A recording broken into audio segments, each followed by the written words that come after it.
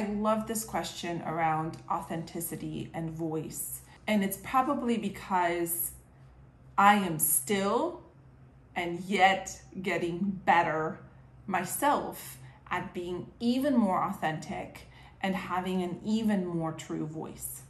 So, what I know about authenticity as it connects to your voice, and that's not your the way your voice sounds sometimes it's it's the way that you come across. It's the power of your voice the power of your words.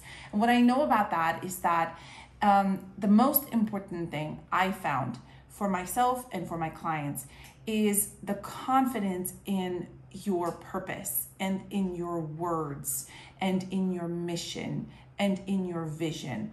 All of these things are really big words and they mean various things to various people but at the underneath all of it, what kind of drags us down is a topic that Brene Brown talks about eloquently and really you need to, to, to listen to her on this topic. But that's shame.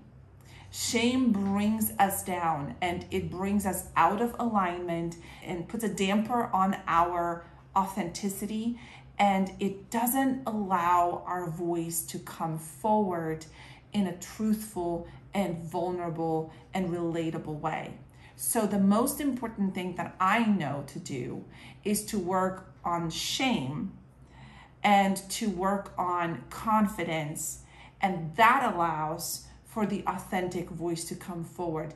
It's like the purpose, the passion, the vision, all of that will percolate up if you know how to deal with the undercurrent of whatever causes you to feel shameful.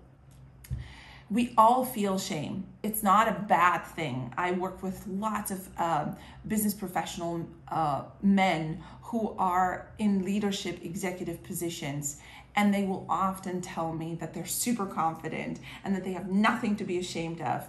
And I am not there to tell them what to be feeling shameful about but I know that we all have that feeling.